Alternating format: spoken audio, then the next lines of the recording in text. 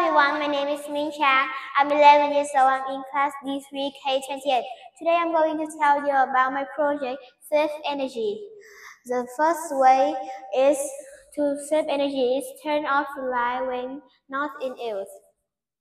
When you're outside and not in lit light, you need to turn them off to avoid waste energy.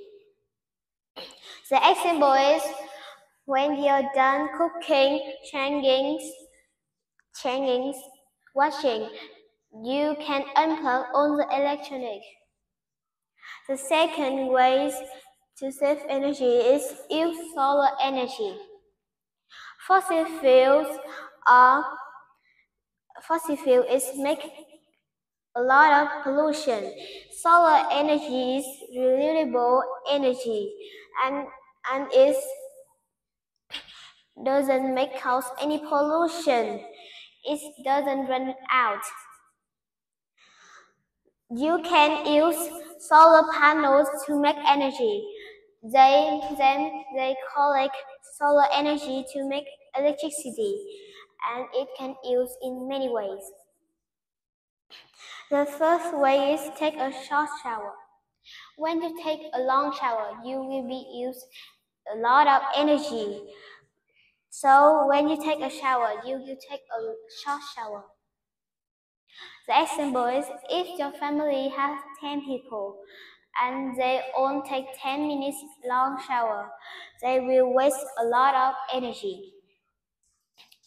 But if they use if they take 3 minutes shower, they we will save energy.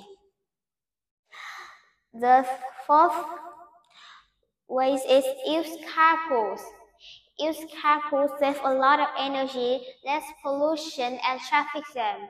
The example, if your when your family and friends travel together, they will save a lot of energy and less pollution and traffic jam. The final way is LED.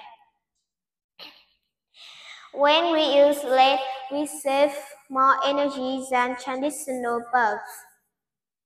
LED bulbs last longer than the traditional bulbs and is use less energy. They are also very cheap. Thank you for listening. Goodbye.